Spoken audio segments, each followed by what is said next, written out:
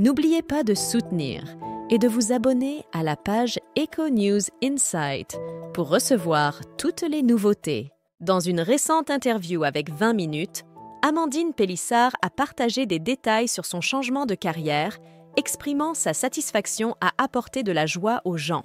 Connue pour sa participation à l'émission Famille nombreuse, la vie en XXL sur TF1, Amandine et son époux Alexandre ont décidé de ne plus faire partie du programme après plusieurs saisons, citant des désaccords avec la production. Le couple envisage de prendre des mesures légales, affirmant avoir consulté un avocat pour intenter une action en justice contre TF1 Productions, en raison de ce qu'ils considèrent comme des pratiques inappropriées. Amandine souligne l'importance de placer des limites, même dans l'industrie du divertissement, en mettant l'accent sur le bien-être des familles et des enfants, plutôt que sur la poursuite de la célébrité à tout prix. Amandine et Alexandre Pélissard, anciennement connus pour leur participation à une célèbre émission télévisée, ont récemment pris un nouveau tournant professionnel en se lançant dans une activité qui suscite beaucoup de discussions. Cette décision a provoqué de vives réactions sur les réseaux sociaux et a été largement commentée, y compris lors de leurs apparitions sur des plateaux de télévision où le sujet a été abordé avec une certaine réticence par les intervenants. Dans une démarche de partage de leur nouvelle expérience, Amandine Pélissard a exprimé, lors d'une interview pour 20 minutes autour du thème du bien-être et du plaisir, son enthousiasme pour leur projet.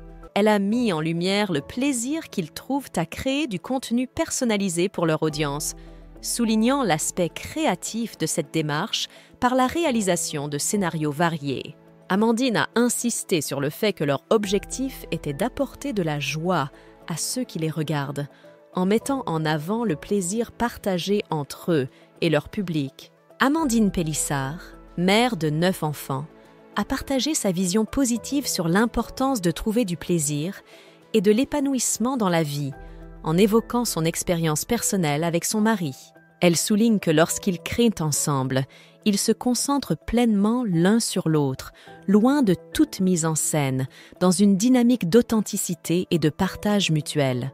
Pour elle, l'idée de partager des moments privés, tout en ayant une dimension commerciale, est avant tout un moyen d'apporter de la joie à autrui, ce qui contribue à leur propre bonheur.